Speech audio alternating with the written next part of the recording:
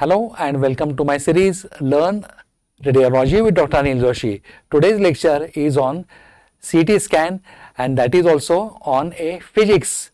Now in CT physics we are going to see a contrast enhancement. What CT scan has to do with a contrast enhancement, how it improves uh, its diagnostic accuracy if we use contrast, which are the type of contrast we use, we are going to see in this. However, uh, IV contrast, their side effects, reactions, how to treat them is not going to be a topic of today's discussion.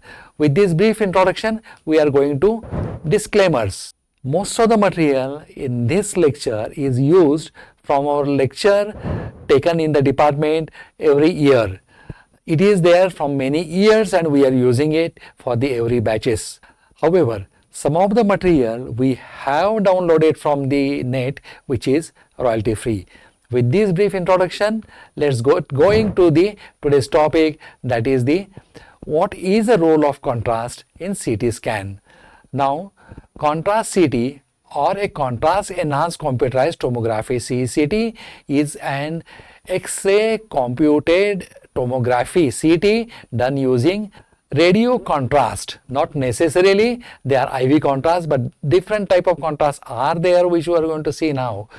Now radio contrast for X-ray CT scan are generally iodine based either they are ionizing or non-ionizing. So depending on the uh, need, depending on the indication, these type of contrasts are used, so also in a different strength. Now these, this is used to highlight structures like blood vessels which are not identified routinely by the plain scan. So we give here with the help of pressure injector, IV contrast and we see that blood vessel enhances. It has got arterial phase, capillary phase and venous phase. Depending on the requirement, we take these phases.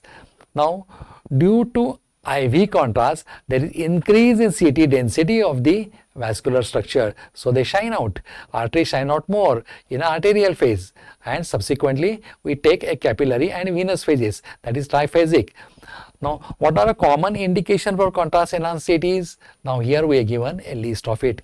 Most of the abdominal examination may be acute appendicitis, maybe ulcer staging, maybe diverticulitis, maybe pancreatitis or maybe pulmonary embolism.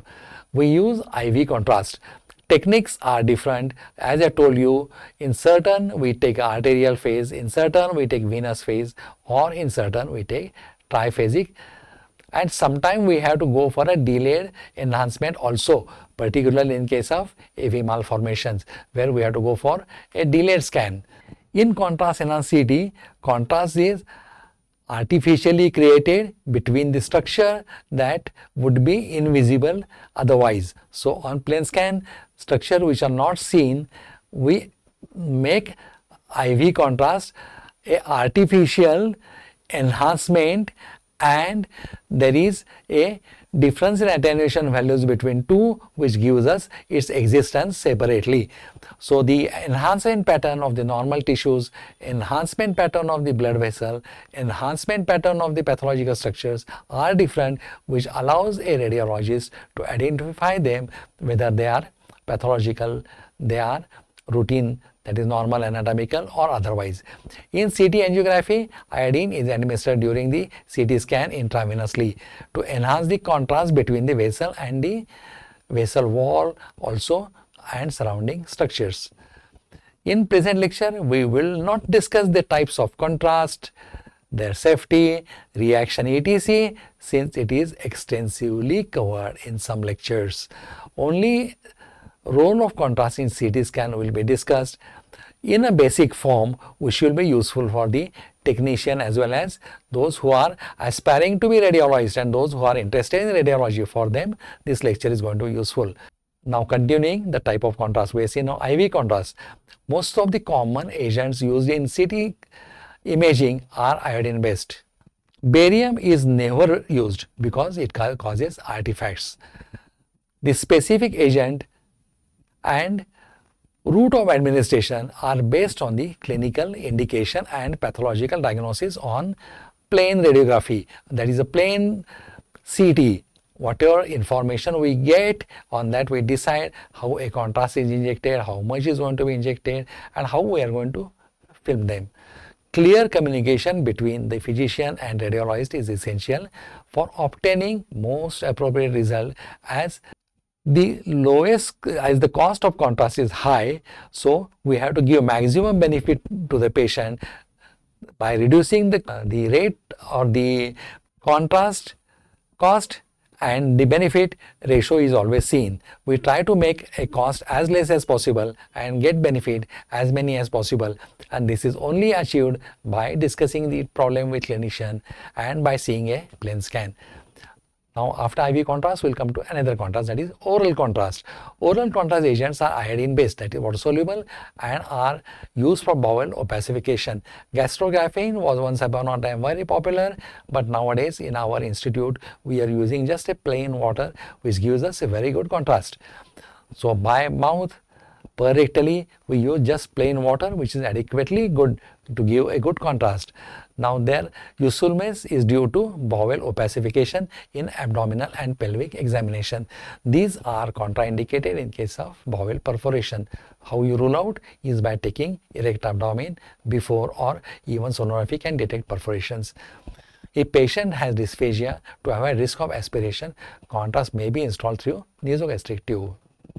Now in certain studies of the abdomen, even a plain water as I told you is most commonly used by our institute at present. By and large, if there is a gas, it can be made use sometime to diagnose, uh, but it cannot be air, cannot be a contrast agent. As we, if we see air in CSF, as if we see air in peritoneum, that gives a contrast which helps us, contrast is the differentiation ability on CT between two tissues that is possible but here we are not artificially giving air as a contrast. So air cannot be a contrast of choice or a contrast agent but it helps us in diagnosis if it is found at an abnormal place. So it helps us but definitely not it's a contrast agent. Now rectal contrast even a plain water will do or even a mannitol or a gastrografin same as that of the GIT that is the stomach duodenum small bowel we can opacify rectum by giving a rectal contrast. However, it is very difficult to reach it to a ileocecal junction. So best is if it is plain water, why not give by two routes. It will serve the good purposes of contrasting or opacifying full alimentary tract. IV contrast agent uh, we had discussed somewhere else also in this lecture also and it has got a major role but most of the time IV contrast even we combine with oral contrast and that gives us a most ideal combination. Many centers use non-ionic that is a today's practice. It's a good contrast agent, it gives a very good safety margin and most of the time when we are using pressure injector it is tolerated better by the patients. So do we do plain scan? We see if there is any indication and we go accordingly for the IV contrast. Intrathecal contrast now, after the invention of MRI, these indications are getting less and less. We are not using it as much as we were using it earlier. So, intrathecal contrasts are rarely used. But in spite of all these, there are certain indications for that, especially if CSF rhinorrhea. That is a intrathecal iodinated contrast is given during the myelography to evaluate spinal or basal cistern diseases and a cerebrospinal leak, especially if it is post-traumatic CSF leak through the nose. Now with that, what message will be taking home? Contrast is a artificially induced agent which enhances the tissues and enhancement pattern of the different tissues is in different ways which will help us to identify which tissues are normal, which tissues are abnormal. In that again, whichever are the abnormal tissues, what is the abnormality in them? So different organs, different pathologies have different contrast enhancement pattern. CT scanning technique is also different to obtain best results of contrast enhancement, whether you are going for arterial phase, venous phase. To give you example, in pulmonary angiography, technique plays 80% of the role. If technique is wrong, everything can go wrong. So not only contrast is important, but also a technique of administration is important. In angiography, speed of contrast injection, triggering of the contrast, when to start it, how long to take it, how much to give it are extremely important. With that, we are coming to end of the short lecture. I thank you for giving me your valuable time. Please visit our website. Please visit our uh, YouTube channel. There are a lot of lectures on it. There is a lot of information on it. There are a lot of different presentations of the radiography, radiology on it. There are different ebooks of radiography on it. There are ebooks of radiology, ebooks of procedure on it. Do visit it and if you like it, give us a like or thumbs up. Thank you, goodbye and take care.